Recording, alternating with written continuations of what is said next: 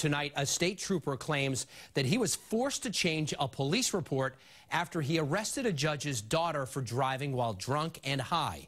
WBZ's David Robichaud has the changes that he says he was forced to make. Ryan Sceviour achieved his goal of becoming a state trooper at age 28. Year and a quarter on the job or so, uh, trying to do the right thing. His lawyer says Sceviour was trying to do the right thing when he arrested 30-year-old Ali Bibaud after she crashed her car on the Mass Pike in Worcester October 16th. In his report, Trooper Sceviour says the young woman screamed, quote, my dad's an expletive judge. He's going to kill me.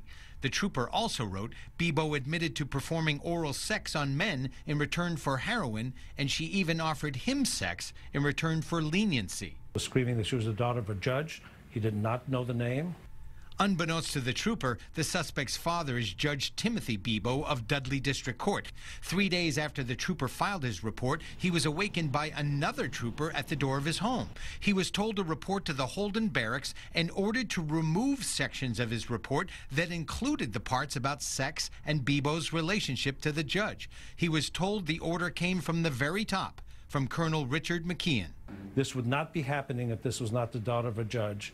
The state police released a statement saying the revision consisted only of removal of sensationalistic, directly quoted statements by the defendant, which made no contribution to proving the elements of the crimes with which she was charged. My father's a judge.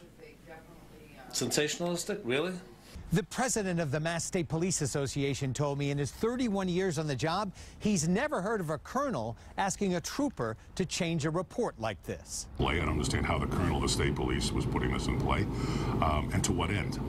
Trooper Sceviour's attorneys are suing the state police and Colonel McKeon, but they have no evidence that Judge Bibaud was involved in the alleged attempted cover-up. In Boston, David Robichaud, WBZ News.